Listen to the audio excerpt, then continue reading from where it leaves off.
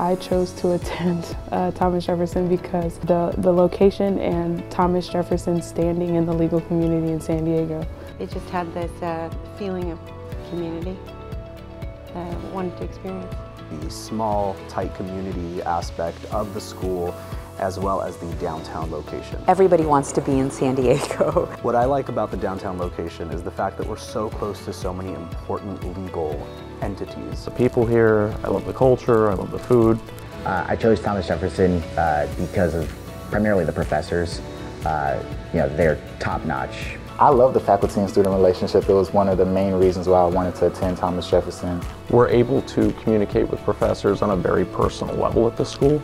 I have questions and come to them, and they made themselves available. If you are considering applying to Thomas Jefferson, just do it.